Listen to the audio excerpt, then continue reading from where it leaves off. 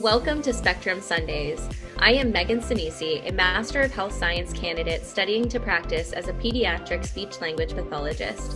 I am also Miss Central Pennsylvania and the founder of a nonprofit organization for autism titled From a New Perspective. And I am Francesca D'Alessandro, a current master's student at University of Buffalo studying speech language pathology. Additionally, I am your Miss Thousand Islands of New York State, serving my community through AAA appreciation and awareness for autism. Everyone deserves to feel accepted and included in every space they walk in. Our series aims to inspire you to advocate for yourself and on behalf of your loved ones, and we are so grateful that you're here with us today. This week, we are excited to welcome Margaret Carpenter Dove, who is a candidate for Miss Connecticut 2021. In her year of service as Miss Greater Hamden, Margaret proudly represents the autistic community and advocates for disability awareness through her social impact initiative. She attends Vista Life Innovations Special Needs School, where she studies vocational and life skills, and she serves as a student ambassador and trainee. Throughout her academic career and Miss America organization journey, she hopes to earn scholarships to further her education and to one day become a pageant choreographer. Mm-hmm. So thank you so much for being with us today, Mark. I'm happy to be with you. Yes. We are really excited to connect with you, and we're always very pleased to learn more about Miss America Sisters across the country. So we're very much looking forward to learning more about you. Mm-hmm. To get started, could you give us a brief overview of your background with autism spectrum disorders? Well, I have autism myself and in high school i volunteered with unified sports for a couple games being like the first autistic person in my school to do that. So i volunteered with a field day and a and a basketball game. I also volunteered with one big circle dance classes and um, spin classes in high school because i am passionate about dance and exercise. So i wanted to volunteer with that type of stuff with special needs, so I did that. I am autistic myself, so I I didn't do much volunteer work with it. I did ASRC walks as volunteer walk things, but I got more interested in doing it after high school when I was at Vista Life Innovations. But I never got that opportunity. I did protective behaviors, but I never really got the answers I was looking for for volunteer work. But as someone with autism, I realized that adversity is hard and difficult to deal with, but you can always overcome it. It just takes double the effort when you have a disability because I had to learn how to tie my shoes in second grade and I didn't learn how to tie them until third grade. So I have to like learn at a slower pace. I didn't start walking or talking until I was three. So it took me a long time to learn things, you know. Yeah, thank you for sharing that with us. We're interested in Spectrum Sundays to learn more perspectives from people who have autism themselves and to share their story. So we're really happy that you're here to share that with us. Mm-hmm. Yeah, and just as a follow up question, we like to ask anyone who comes on our series who has a diagnosis of autism if they identify with uh, autism as identity first or person first. So that would be um, autistic or person with autism. Do you have a preference as we go on through this conversation? Um, I don't really like have a preference. I'm used to both. You know what I mean? Okay. I don't really know like how I I have no idea. I'm have autism, but I also do like I know person with autism more appropriate, but people call me autistic anyways, and I laugh it off as a joke, so I don't care either way. I think you know I heard I mean? I think I heard you refer to yourself as autistic a few times before this conversation. And then I think I also heard you use person with autism. So is it okay if I switch back and forth? Yes. Okay. I'm just saying, I don't really have a preference. I know it sounds weird. No, that's not weird at all. We just like to ask out of respect and because we know that a lot of people have different opinions about it or feel strongly one way or the other. So we just like to ask so that we're. I just don't like when people refer to certain things as stimming because I don't really. It's not that I stim, it's just I'm more energetic. So I don't really like using it as stimming because it's a way I like you. Because reason why I do it is because either I'm nervous or bored, so I just channel it into stuff. You know, I don't like that's the one term I hate is stimming, not autistic or person with autism. I hate when people use the word stimming. You know what I mean? It just annoys me because I don't. Certain people can't help it. Some people are just energetic. You know what I mean? Mm-hmm. Yeah, and that's a topic that we've talked about before on our series as well. So hopefully maybe you'll find some more information about that and some other perspectives too you can relate to. Yeah. So I want to get to know about your participation in the Miss America organization and what inspired you to start competing because I believe you said earlier that this is your first year. Yeah. Yeah. So what has inspired you to compete and to participate? Well, what first inspired me to participate was basically is difficult to say because basically I wasn't in a pageant family growing up, but I had a former friend who used to really love pageants, but we didn't get along that well. And I was like, do I really want to do pageants? Is that just her thing? But I kept looking at pageants and I'm like, shoot, should I do the Miss USA Universe system? Should I do the Miss America system? Or is or or is that not my thing? Because I was confused all of a sudden I received this Miss Connecticut USA invitation. I applied, but then I realized I don't quite meet the requirements yet, but I nailed the interview and I'm like, maybe I should try another pageant. So I tried this pageant on a whim, like just on a random whim. And then I'm like, geez, this actually might be the stepping stone to do that pageant and do both pageants. And then I realized, wait, this is something I desire to do as a job. As soon as I started applying that type of stuff, it interests me in pageant choreography as I started to like um, get used to um, realizing that it was something I'd enjoy just from watching pageants and then after realizing, wait a minute, this might be more my thing. And then at the end of my friendship with this person I wasn't getting along with, she said, We're still friends in the, even if we're no longer communicating i hope you try doing pageants. And i'm like maybe i should try doing pageants. Even though it didn't go so well to the friendship. I went after them myself realizing they were for me. And that was the one good piece of advice she told me was to go for it. Yeah i know it sounds awkward but like sometimes the ending of a chapter can like bring the start of a chapter. Isn't that weird yeah, absolutely. When one door closes, another one opens. And we're really glad to hear that you pursued that and you took some time to figure out, you know, if this was for you and and now you're getting a chance to really explore it even more. Yeah, and the system I'm doing is the one my former friend did. And I thought, wait a minute, I don't want to do the same one as her. And then I realized, wait a minute, it's actually more my thing. Yeah, so one of the really unique and awesome opportunities that we have as title holders is that we get to promote a social impact initiative. We get to speak and act on our passions.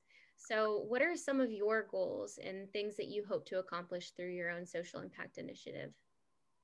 I'm hoping that I'll be able to help people with disabilities have equal opportunities to achieve their ambitions and do leadership roles but also people be aware that people with disabilities have equal rights to and deserve to have rights of having their choices of what they desire to do with their lives, you know, through different ways of putting themselves in involvement. So when I get involved with organizations, I'd hope to like mentor them and like work with them and volunteer with them so that they can sort of work like as a team as as a whole or as in individual ways, depending on the organization I'm working with, so that it prep them to get to a normal level by helping them. Because that's what I did when I was in high school with disability organizations towards the end of my high school. Because I had a disability, I didn't like being talked down to when I was younger. So I ch- try to change that in my school towards the end of my years. And that's why I'm hoping to do that while I'm here at my school and now in part of Miss America organization because at my old school I used to do that a lot and I'd like to continue doing that in my new school, you know, and outside of it in my Hamden community and in the school in, that I am in at Westbrook, you know. Yeah, that's great. I think that is one of the hardest but most important things to do as an advocate is to help shape and change the attitudes and perspectives of, of other people especially in a more positive light and it sounds like you've certainly been working towards that and doing a great job at it um, so i wanted to know what some of the most valuable lessons that you've learned through your experience um, advocating for disability and autism awareness were what i've learned um, i've learned like to treat people equally based on my own experiences and trying to help other people not experience that, you know.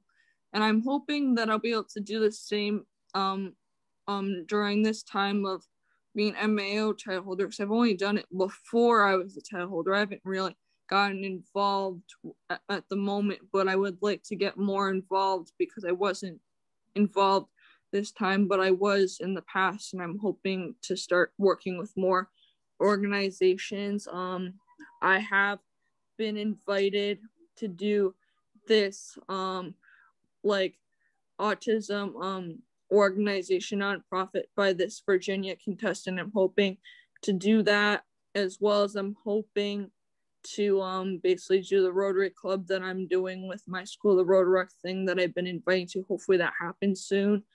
Um, and there's other organizations I tried reaching out to such as Best Buddies and Special Olympics, they didn't quite answer. It was kind of awkward, you know what I mean? And I had like a long list I was trying to reach out to. It didn't work, but hopefully things will work out. Some people will reach out to me, you know? Right. I'm involved with the Special Olympics Pennsylvania chapter, and I know that they're always looking for more advocates and more representatives and ambassadors to speak on behalf of their program. So I hope that that works out for you too. And as hopefully we're on the rise yeah. Better times with COVID, then things can be held in person more. And I'd love to like volunteer with like soccer, floor hockey, or dance because those are like sports I'm good at. I was good at floor hockey in in in, high school. And at Vista, I did dance and soccer. So, like, if I could volunteer with some of those, that would be great, you know? Yes. so, I used yeah, that would because I used to be an athlete because I was special needs like with gymnastics, but I wasn't too good at that. I enjoyed it, but I was more athlete level and then I became recreational. But like with sports that I've done recreationally without even doing um special needs stuff, I, I found those interesting. So I was wondering like with the sports I'm naturally good at and enjoy, could I be a volunteer despite my autism? I have no idea, but I hope. Yeah, absolutely something I wanted to pick your brain about a little bit, Margaret, is how you think that, or something that you think people misunderstand about autism and how you would want to clarify that um, or help people better understand about autism. What I'd like to help people understand better is that it's not about vaccines actually, because vaccines don't affect you really. It's more so if you're born with it because it's a mutation and people are born with mutations. A lot of people who have autism have older parents. My parents had to have me as an older parents because i was an egg donor child so they had me at a later age causing me to have autism. And i couldn't be born unless i had autism basically you know because my parents had egg donor and then they had me an older age and I have half siblings. I have no idea who my half siblings are, but I've got feelings about who's related to me. And it turns out one of my friends was actually related to me, and I had a gut feeling about it, and I was right. oh wow. You had an I know intuition. it sounds weird, but like legit, if you have a diagnosis, you're aware of who else has the diagnosis, who's related to you, because basically you're like, well, if they're that similar, you know. And like my egg donor process was crazy, and a lot of people on my family tree were adopted or something. It's crazy, you know. Wow. it's a really interesting story. And, you know, I think that is uh, on the topic of vaccines. I think that is a really important topic to hit, especially in this age of misinformation.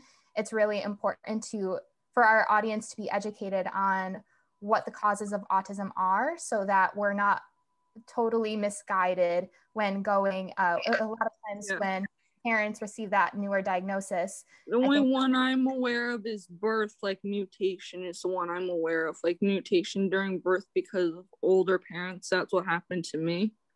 Mm-hmm. Yeah, a lot of times uh, the person will be just born with autism because of the genetic mutation. So that was a great clarification for our viewers. Thank you.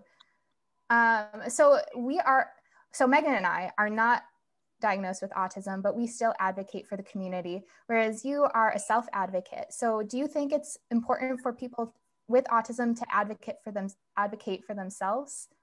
Yeah, I think so, definitely, because if you want to like go after desires and don't listen to what they say. Like if you're capable of like being self-aware then you should be capable of advocating like if you're aware of yourself you know? Absolutely. Yes, we've talked to quite a few self advocates who share that that similar sentiment that you know nothing about us without us. No one else knows our experiences unless we are speaking up about you know what what we experience ourselves and how, helping educate the community from a direct voice. So tell us about a time that you may have advocated for yourself in your personal needs. Um i advocated um when I um basically um multiple times in my life, like countless, I've advocated when I um wanted to do normal classes in school, you know, when I was in high school. I want to do certain normal classes, extracurriculars, you name it, a lot of different things that advocate more for in high school. Whereas in my transition program, special needs school, I had to advocate, but not as much because I'm more of a role model here because we're all special needs and I've sort of been more outspoken, whereas in high school I'd hide more, but I still like in the beginning, but then I ended up being more of an advocate and more outspoken in the end. I mean, both I was definitely av- an advocate and outspoken. Just high school was more like normal people too, but still both were good experiences. Just the problem was that I was more um how to explain it exposed to people who would like um not understand because they'd have like special needs teachers that would um manipulate a bit whereas in the transition program there may be people like that but there's always people that will back you up and say you don't have to date this person. You don't have to do this. Whereas like high school it'd be kind of peer pressured and you'd be stuck with it but you'd still have incredible opportunities through high school even if you're special needs because it was an amazing school. You'd be able to do a lot of scholastic stuff but my social life about eh. And then vista it's like there may not be as much scholastic stuff but still there's a lot of more extracurriculars than my high school and the social life is better but it's different you know what i mean? And i'm doing different activities at my school now than my school in the past so it's a little bit different in both schools you know and yeah. and advocating for myself to do different things are different when you have like a mix of normal and special needs versus just special needs you know so I started with public school and now I'm in private school. So it's a completely different, you know what I mean? Right. And that's something we hear a lot from our other self advocates is that high school and college can be really tough times, especially for social socialization. But that's why advocating for yourself and hopefully initiatives like Megan and I have help inform the community to be more accepting and aware of people with differences. Yeah. Except I haven't been to college yet. This is just a special needs like school that's like a vocational school. Mm-hmm. Like it's not a college because I don't study academics here. You know what I mean? Right. But I'm hoping to go to college and study academics. I mean, there's students here that take online courses. There's students who are who visit community colleges, but I don't. But I would like to eventually be a full time student of college after I graduate Vista and maybe take some part-time courses after um part-time courses after like vistas over like remedially like what i mean so i'd like to take like remedial part-time during vista and then graduate full-time and do full time college after I graduate this. So it sounds like the program that you're in is more of a vocational transition program. So you've already graduated from high school and now you're in this program before hopefully going on to college. Is that correct? Yes. Got it. Yeah, that's a really awesome growth journey too, so that you can dip your toes in some of those other skills and things before entering the the college career too. Mm-hmm. Mm-hmm. So speaking of different types of courses and training, I saw that you posted on your Instagram that you completed the Special Olympics Protective Behaviors online training. Yes, I did. Could you tell us a little bit more about that and what you've learned through the process? Well, I was like studying it for soccer. I didn't do it for both soccer and floor hockey. I was hoping to do both as a volunteer, but I only did the soccer one because that was mainly the one I was focused on. So I learned like what I already knew. It was pretty much easy. It's like it was like codes of contact conduct not to date an athlete, and then it was like, do you know, do you, how do you give the ball to someone you pass it? That's what I was asking. Simple questions like that. Do you touch people? No, that's a penalty. Or it's like, um, and then it would ask like different CPR first aid stuff, such as like um, simple stuff like, do you need a band aid or um, in this certain sense or or gauze or um, like how do you and then the Heimlich maneuver thing, answering like the basic questions. You know what I mean? Not an actual demonstration just basic questions, like so you know what you're doing before you get the training. You know what I mean? And then it was like um also other ones such as who do you go for the meds and it's a shift supervisor. I knew that because my transition program has a supervisor, so I don't I wouldn't want to do that. And then it says, do you want to be a driver, a person who drives people. I said no because I don't have a license. yeah, it sounds like those are some really important questions to start thinking about now, especially as you hope to get more involved in these organizations and volunteer yeah. people. Yeah. And I like got the questions correct and I figured that out, you know. It took me a few times to do the test right. I got it on the third time. Hey, third time's a charm. The charm, right? yeah. So, Margaret, if you could share one inspiring message about autism for our viewers to hear and learn from or remember from this conversation, what would you share? What I would share is, um, believe it or not, is that the MAO people get like bunches of um scholarships. So I was eight, I wasn't able to yet, but I will be offered them at the Miss Connecticut program. And I didn't believe that I'd be able to do that and stuff. And I um, am going to be ushering for my school's play. I'm doing Rotaract and I'm like involved with a lot. The Miss America organization giving me opportunities such as to um, do this autism nonprofit with a Virginia contestant that she's inviting me to. So like if you set your mind to anything, you can do it despite your autism. I don't know. I never expected to do a pageant before. I never expected that I'd be getting A's on my transition program meds after failing and sleeping in too much.